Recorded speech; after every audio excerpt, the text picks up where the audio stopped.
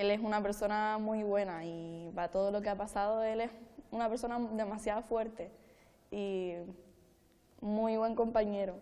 Solo hay buenas palabras hacia Cuba, que partió siendo menor de edad hace tres años desde Gambia en una patera y que se ha ganado un hueco en las vidas de su pequeña clase de cuarto de la ESO del colegio Jaime Balmes. Con ellos me siento como si eh, con mi propia familia. Lo más importante al principio es que se sienta completamente arropado, porque evidentemente viene de una situación muy complicada, muy compleja y el idioma falla. Lo abrazan según llegan, y lo acomodan. Muchos de ellos no vienen con mala intención, sino buscando una vida mejor para ellos porque allí no la pueden conseguir y querer darle mejor vida a su familia.